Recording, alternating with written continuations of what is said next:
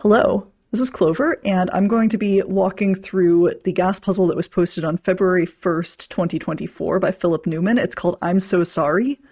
And I have to assume that what Philip is apologizing for here is that this puzzle is visually similar to the puzzle that he posted in his previous round, which, if you didn't watch my walkthrough yet, turned out to be pretty challenging for a lot of our solvers. Hopefully, if you struggled with that one, you got a chance to watch the walkthrough. This puzzle, even though it also uses black ratio dots, should be a bit gentler. Your mileage may vary, but either way, I'm going to walk through it with you today. So normal Sudoku rules apply, meaning that we have each digit 1 through 9 once each in each row, each column, and each marked 3 by 3 region. And then we also have these black dots. Conventionally, these dots indicate ratios, and if there's no number in them, unless otherwise noted, the ratio is always 1 to 2. However, in this puzzle, we're using various different ratios, so they've been marked. And for instance, if there's a 3 in one of these dots, that tells you that the digits on either side of the dot are in a 1 to 3 ratio, such as 1 and 3, 2 and 6, or 3 and 9. This tells us that the digits on either side of the dot are in a 1 to 5 ratio, and so on. So the one part of the ratio is implied, it just tells you how many times larger one of the digits is compared to the other. And that's actually the first place we're going to go in this puzzle. When you are doing a ratio Sudoku that has different ratios, your first restriction is often going to be on the large ratios because many of them are limited to only one option. In fact, any ratio that is 5 or higher in a standard Sudoku only has one way to fill it out, 1 and that digit. So this one has to be a 1-5 pair, and because the 9 ratio has to be a 1-9 pair, we know which way around it goes. 6 will be a 1 6 pair, 7 will be a 1 7 pair, and we don't have any others that are 5 or higher, although 4 is also quite restricted. There are only two ways to do that either 1 and 4 or 2 and 8. Because we already have a 4 in the row, we can write in 2 and 8 here. And this we can pencil mark as either 1 and 4 or 2 and 8.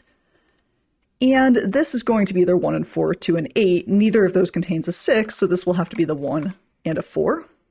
Now, because we have fours in both of these columns, this four ratio cannot include a four. In fact, that's also the case because of the one in this row, so this has to be two and eight. Now let's start looking at how some of those ratios interact with some other things we have in the grid. So for instance, we have this 7 dot, and then one of those digits interacts with this 3 dot. We can't put 7 in a 1 to 3 ratio in a Sudoku. There's no um, number that's a multiple of 7 times 3 or a, a divisor of 7 by 3 in Sudoku, so that has to be 1. And that makes this a 3. This 2, this has to be in a 1 to 2 ratio with the number 2, but it can't be a 1, so it must be a 4. These two numbers are in a 1 to 2 ratio, but because we can't use 2 or 4, the only remaining possibility is 3 and 6. And if this is 3 or 6, we've got a 1 to 3 ratio here, so this is either 3 and 1, which is impossible thanks to this 1. It's 3 and 9, which is still on the table, or it is 6 and 2, which is also still available. We've placed this 6, actually, I notice now, so we can place a 2 right there, because we have a 1 to 3 ratio, and that makes this definitively a 9, which resolves that. This gets partnered with 2, it can't be a 4 because of the 4 in the column, so that's a 1, and the 2 is also going to resolve our 2-8 pair from a little earlier. This is a 1 to 3 ratio. We can't use a 2 in it, so it must be either 1 and 3 or 3 and 9. Note that both of those options have 3s in them, and because there's already a 3 in column 6, we've got to place the 3 there. That makes this cell either 1 or 9. 9 can't go in a 1 to 2 ratio with any other digit, so this is our 1. That's now a 2, and because that is a 1 to 4 ratio, this is 4 times 2 or 8. And then this is in a 1 to 2 ratio with the digit 8, so this now has to be a 4. Now we need two digits that go in a 1 to 2 ratio to go into these spots. And that's pretty restricted because if you look at this column, we can't use 1, 2, 3, 6, or 8. We can't ever use 5, 7, or 9 on a ratio dot, so that really only leaves one number we can even place there, which is 4. And that will go with either a 2 or an 8. Now, if we look at this 3 dot, it's kind of the same situation as we had a moment ago where we've ruled out a 2 since 2's in those rows are already accounted for. So we have to use a 3. It's either 1 and 3 or 3 and 9. The 9 can't be on the 2 dot. And on in this case, 1 can't be on the 2 dot either because it would have to be paired with a 1, or it would have to be paired with a 2. And then there's already a 2 in the row. So this has to be 3, making this 6, and making this either 1 or 9. So if we continue traveling around the grid, what do we place down here? So this has to be a 1 to 2 ratio. It can't use 3 and 6. It also can't use 1 because there are 1s in both of these rows. So this is either 2 and 4 or 4 and 8. And we can make some further eliminations there because there's a 2 in this row and there's an 8 in this region. Now this is in a 1 to 2 ratio. It doesn't have a 1 or 2 in it. It also has either a 4 or 8, so it has to be a 4-8 pair. And that puts us in a position where we can start focusing more on Sudoku. So let's look at what looks kind of geometrically restricted here. So the first thing that jumps out at me is that I have a bunch of digits up here that are not the same as the digits that are in this region in the bottom left, and they see a lot of the blank cells in this region. So I have a 6 and an 8 that see all three of these cells, and I still need to somehow place a 6 and an 8 in this region. So they must go there and there. Now, that gives me a second 6 in this bottom part of the grid, which tells me that 6 in this region can't go in those cells, and then there's also a 6 up here. So now I get to place a 6. Let's pencil in what goes here just so we can work on the left side of the grid a little bit more though. So these are 3, 7, and 9. This is decided already because there's a 3 and 7 in the row. And now if those are 3, 7, and 9, I notice I still have to place a 1 in the column and there's only one position for it thanks to the 1 in this region. These cells are going to contain 4 and 5. I have a 4 in this pair, so the 4 goes there and the 5 goes there. What's left in this region? So I need to place a 3 in the region, and it can't go in those two cells, so it goes here.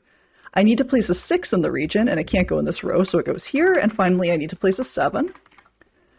Now let's put a 5 and a 9 to finish this column, which will go just as a pair for now. We don't know which way around they go quite yet. And we finally need to place a 7 and an 8, which are resolved because of this 8 here. And now if we're paying attention, we'll notice that this pencil mark is now resolved by this 8. We now know for sure that that is going to be a 2. There's kind of an interesting parallel to what we just did over here. So I notice, first of all, this 8 makes this a 4, makes this an 8, and makes this a 4. But what we did over here, we can now do up here because we have 7 and 8. We need to place them in this region. They can't go in any of these cells because they're already taken, and they can't go in these cells because 7 and 8 see them. So 7 and 8 go here and here. We know what order they go in because there's already an 8 in row 1.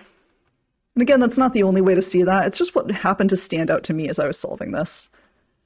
I need to finish this column with 5, 7, and 9. I have 5 and 9 here, which gives me a naked 7. And I can place the 5 and 9 in those cells. I need to place a 1, a 2, and a 9, and a 5 in this column. And that's more than I would normally pencil mark, but let's just go ahead and jot it down now that I've already thought about it. The 2 is ruled out of here, so we have a 5-9 pair, in fact, which gives us a 2 in that cell. And the last digit to go into this region is a 3, which resolves this 3-7 pair. Now we need to place a 2 in this row. It can only go here, and so this is either 5 or 9. We actually have a 9 in this row that I didn't notice a moment ago that resolves all of our 5-9 pairs. And our last digit in this row is going to be a 4, we still need to place a 7 and 9 here. This also is going to have to be a 7, 9 to finish the column. This is our last cell in the row, which is a 3. These digits are 3, 5, and 7 in the column. We already have a 3 and a 5 horizontally here, so let's mark that as a 7 and let's kind of follow through with that and finish resolving some of these pencil marks based on what we just placed. So now we're down to just two digits in this region. One of them's a 5 and the other one is an 8. These are going to be 2 and 9. I can place those right off.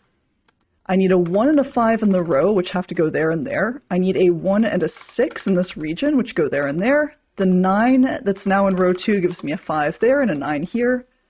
These are going to be 3 and 6, and these are going to be 5 and 7. And that's how you solve Philip Newman's I'm So Sorry. Uh, Philip, you have nothing whatsoever to be so- sorry for. That was a lovely, very smoothly flowing puzzle, and I enjoyed it a lot. I hope the rest of you did too. Feel free to leave us a comment, leave us a like, um, say hello, let us know how you got on with the puzzle. We'd love to hear from you. Bye bye for now.